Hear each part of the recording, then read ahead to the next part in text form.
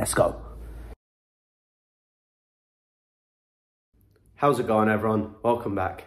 Today we're off on another European away day. We're off to Norway, off to face Bodo Glimt in the second leg of the UEFA Conference League playoff round.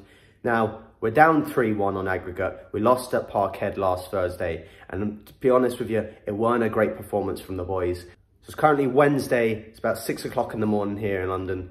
And I'm getting ready to go travel for my flight over to Oslo and then connecting flight from Oslo to Bodo where it's up northern Norway above the Arctic Circle on the map, as you can see right here. But yeah, it's a long way to go. I can't wait for it. Now, the ground that Bodo Glimt play at, it only has a 4,000 capacity.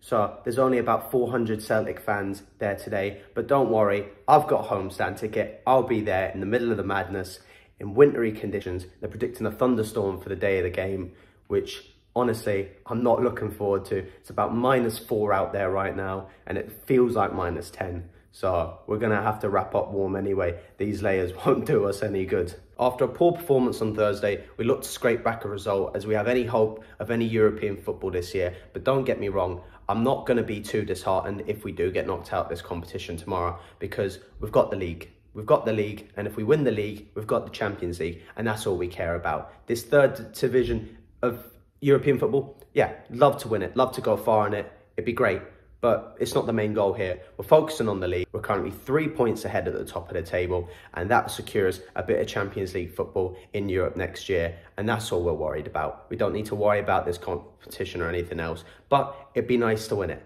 And look, it makes for a great away day. So, like always, on the hoops.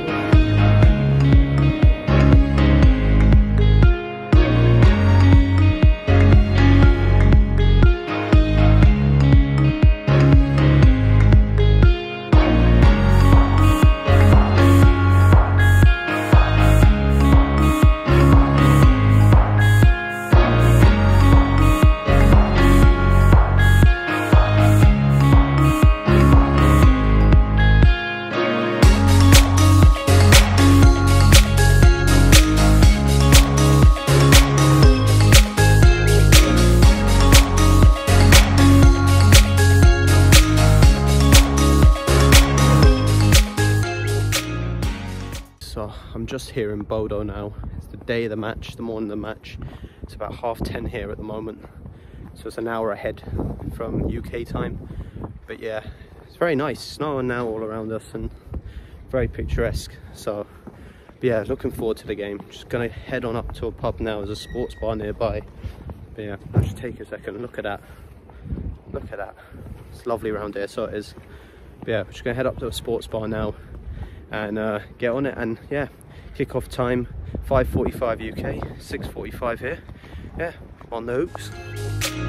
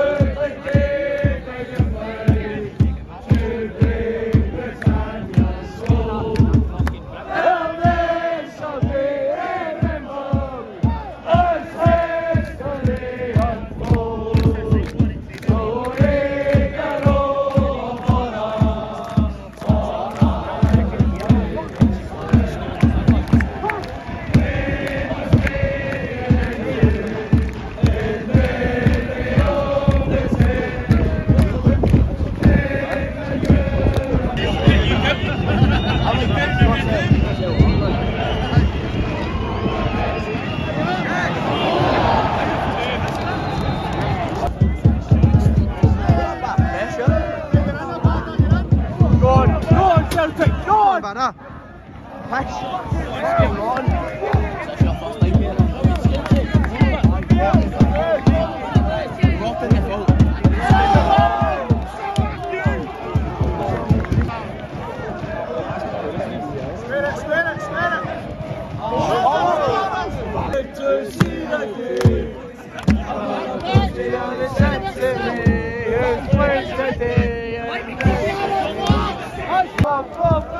And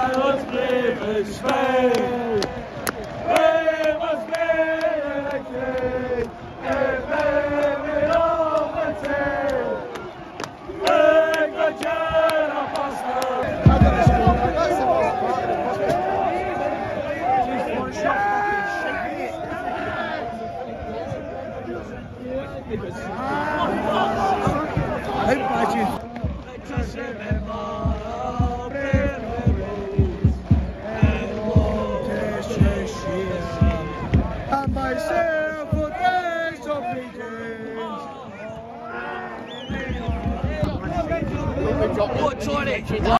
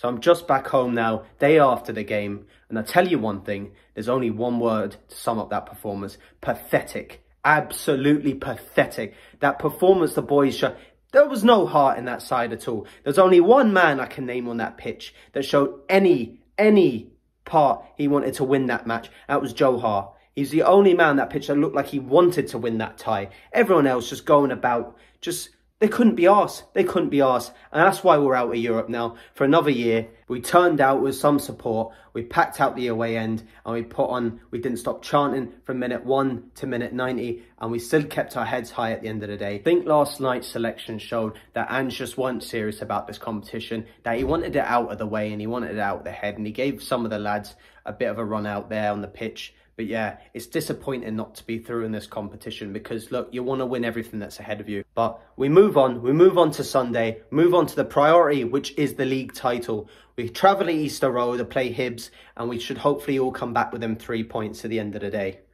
So thanks for watching and I'll see you then again i on the hoops.